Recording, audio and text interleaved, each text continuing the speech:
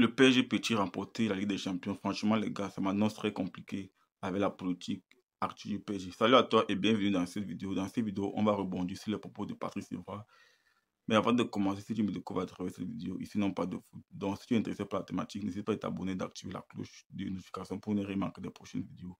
C'est on est parti. Alors, Patrice Evra a fait une intervention sur le PSG. Selon lui, le PSG devait faire appel aux anciens joueurs aux anciens joueurs qui ont marqué l'histoire du club. Et à juste titre, on le voit un peu partout.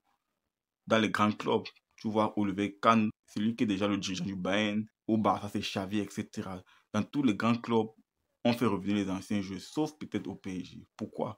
Parce qu'on estime que euh, vendre les maillots, faire du marketing, faire du bling-bling est plus important que le sportif. C'est dommage parce que le football, c'est d'abord le sportif, ensuite c'est le business.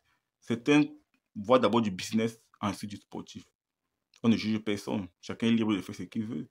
Mais avec cette politique, ça sera très compliqué d'aller gagner il des Champions, les gars. Très compliqué.